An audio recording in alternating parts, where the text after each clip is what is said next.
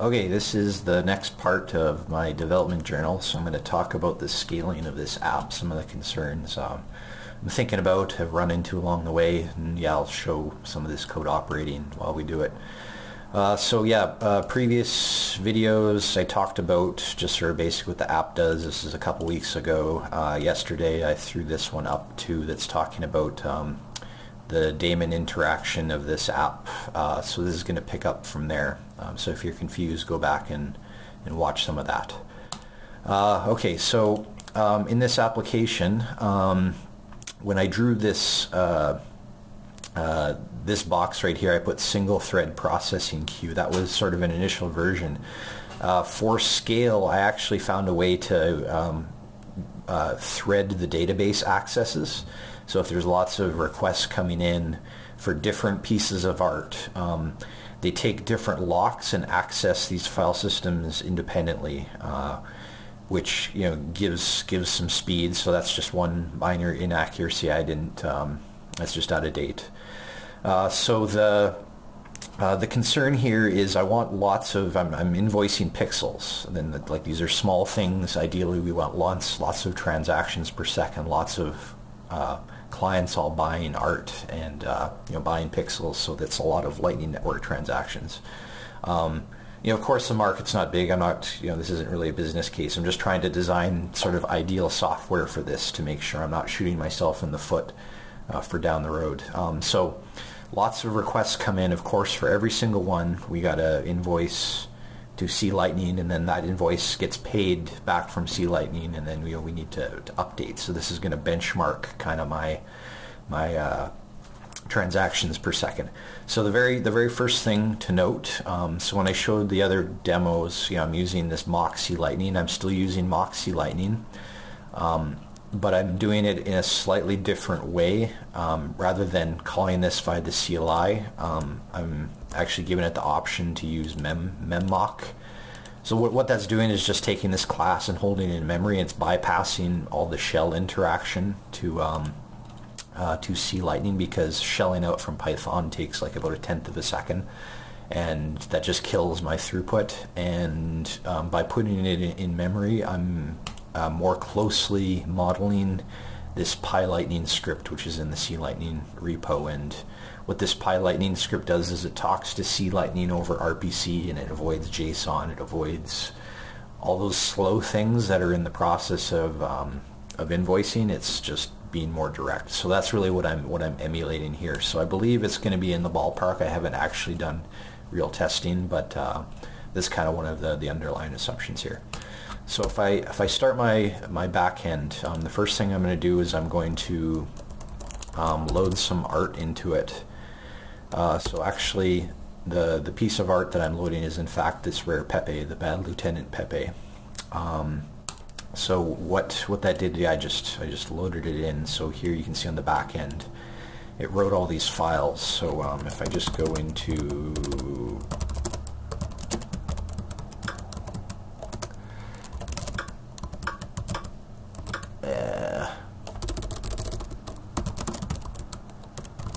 sorry about this. Prepare this. Okay, so we wrote all these files. Um, and yeah, so what this is, it's like a database of the Merkle tree that I calculated from the pixels, for example. It's got a database for the paid invoices. Obviously, no pixels have been paid at this point.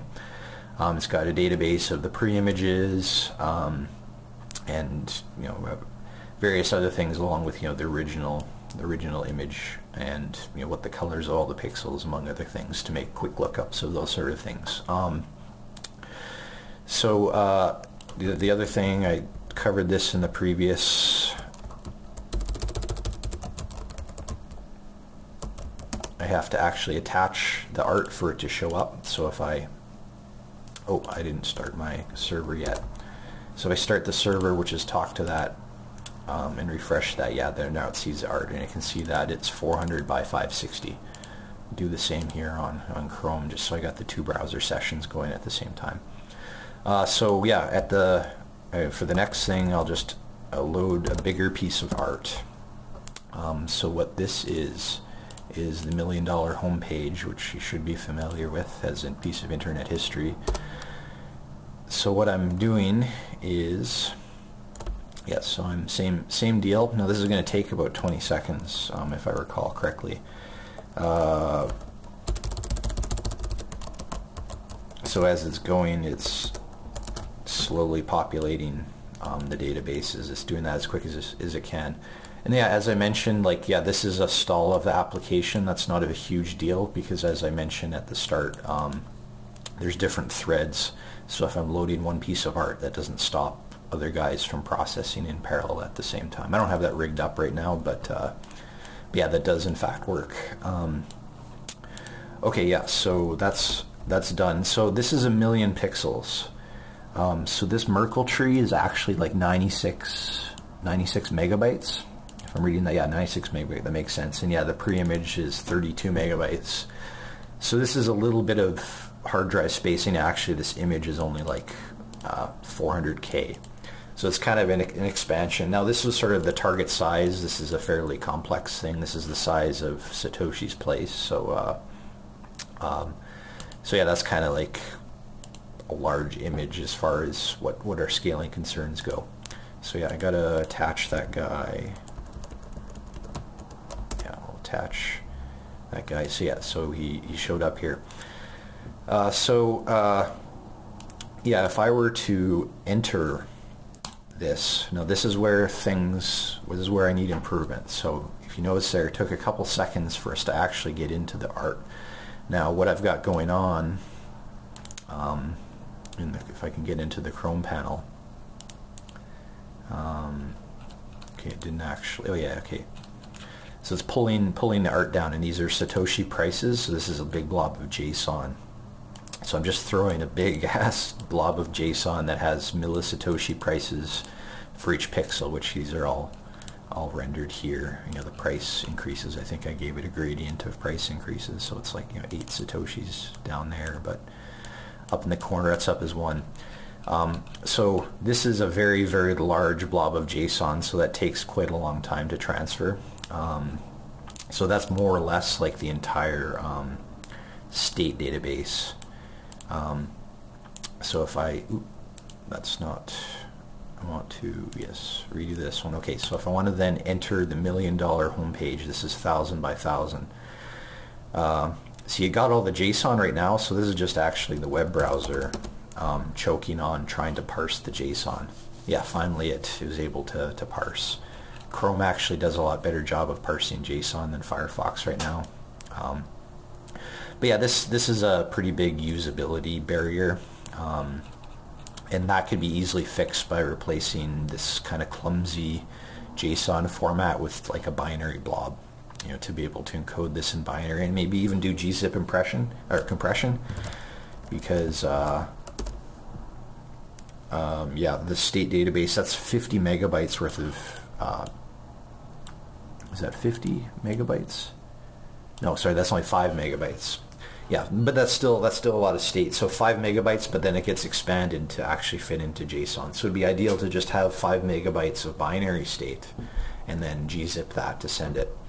Um, okay, so let's talk transactions per second. That's kind of the main point. Um, so people have done benchmarking on uh, C-Lightning and um, um, you know, just to kind of figure out what what the state of micropayments and frequent micropayments are. So Rene did this video. Um, see the ticker here. He's just benchmarking how many transactions per second. Uh, so he, like, I think during this video it, it approaches 10. Um, I think other people, you know, in good conditions, you might be able to get 30. Uh, I'm not sure what the story is, but that's kind of just where my mental peg is of where good good amount of transaction throughput, throughput is because that's really the what we kind of understand what C-Lightning is capable of there. So uh, what I'm going to do, um, so that's, okay, I'm going to just get out of here for a second, back to lobby. So I'm going to go into Bad Lieutenant Pepe and I'm going to so this is a script that's just in Python rather than a browser. It connects as if it were a web browser and it starts invoicing and paying invoices just in a loop. So you can see now that it's invoicing and and digesting the the discovered paid pixels. Um, so this these counters going up are rather quickly. So actually, yeah, here you can see pixels being bought and they're sort of being bought in chunks of 50 at a time. Yeah, stalled for some reason. I think that has to do with um, I'm screen capturing, so my hard drive's kind of locked right now. Um, oh no, no, I think I might have ended. Yeah, okay, yeah, no, sorry. Um, that, that was expected. But yeah, I bought these pretty quickly and you can see it was going at a pretty good clip. So I'm actually going to um, do the same on the on the million dollar homepage yeah, I, I, think I did a handful and then stopped, and that was the plan. Um, so I'm going to kill that. Um, so we'll go into the yeah the million dollar homepage. Uh, and again, yeah, this is many megabytes worth of state. I might get rid of that now because it's getting in the way of the actual Okay, so I'm gonna yeah do the same here for the million dollar homepage. So yeah, this this guy as a client gets all the the megabytes worth of state.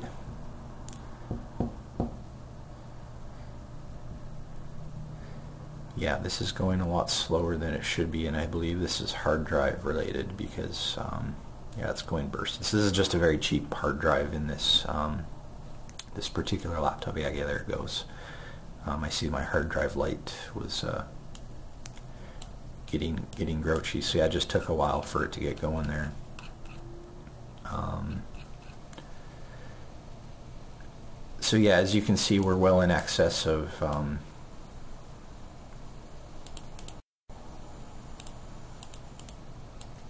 of uh, what's able. to, Yeah, okay, so there you can see the pixels coming in yeah, this this is only a dual core laptop. You can see Chrome is now taking all my CPU.